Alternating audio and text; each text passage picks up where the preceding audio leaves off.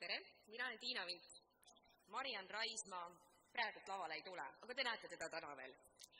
tere, mina olen Terje Lõbu ja me vaatame algatuseks väikest filmi ülikooli varakambrist ja selle loomisest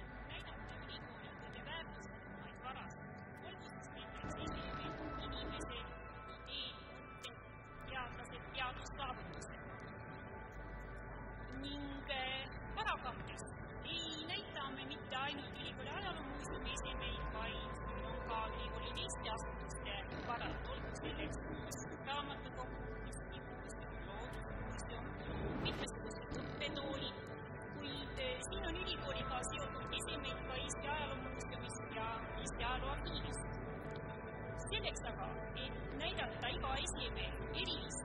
That was, yeah, that was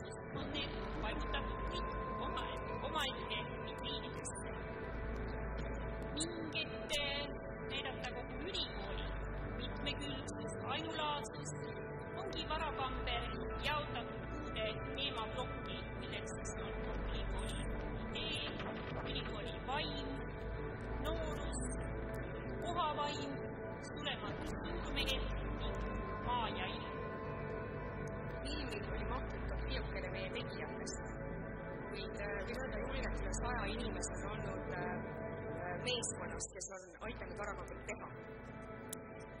kõik meie kallid kolleegid olid kindlasti, hingasid varakambri rütmis sel hetkel, kui me seda tegime.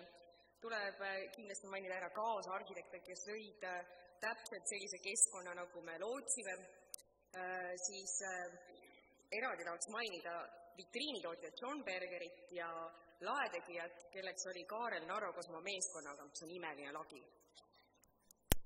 eksponeerimisküsimusi tekkis meil mitmeid, kuid siin vaatame lähemalt kolme. kas väärtuslik või väärtusetu? Popol me näeme ühte sööstunud puutükki, kuid eks igal esemel tuleb väärtust koos tema looga.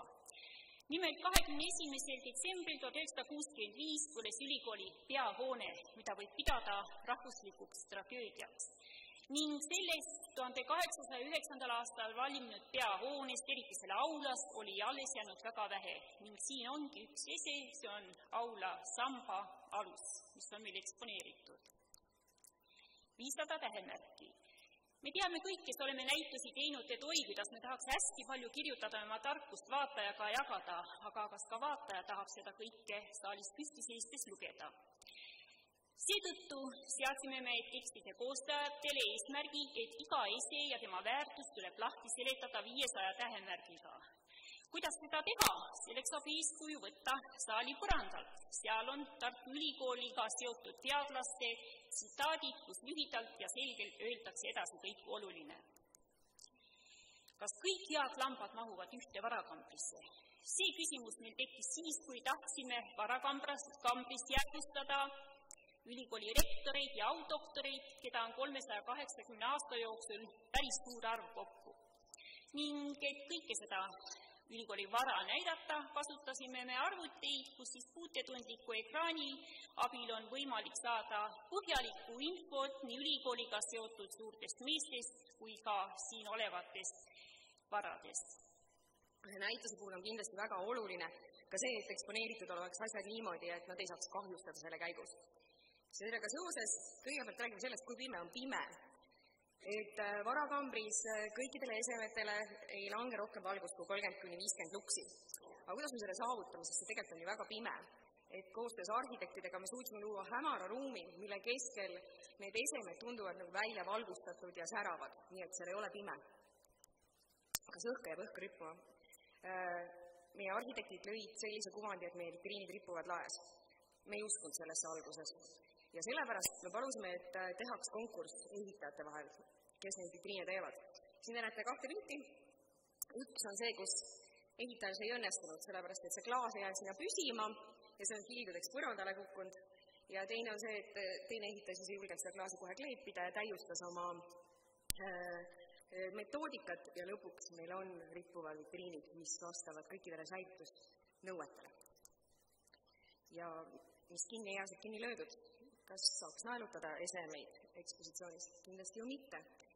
Äh, kunas meil oli eesmärk, et kõik esemed peaksid olema eksponeeritud niimoodi, et nad oleks võimalikult paljudest külgedest nähtavad ja mida võimaldasid ka need vitriinid, siis äh, meie äh, suur väljakutse oli kõik eksponaadid kinnitada võimalikult väikse toetuspinnaga, aga nii, et need oleksid sobilikud. Ja nõnda siis kasutasime ettekunstnikke selleks.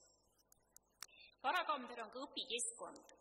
Me tahame inimestel pöörata tähelepanu ka sellele, et nende kodudes võivad samuti olla väikesed varakambrid ning varakambris on väärtuste õpisein, kus on kastid, kus on erinevad esemed, olgu siis selleks rektori käe kipsjäljend või Pamiri mägedest kaasa toodud kivid.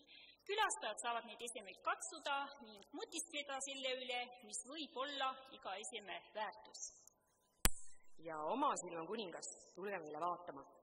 aitäh! Aitäh! aitäh! aitäh!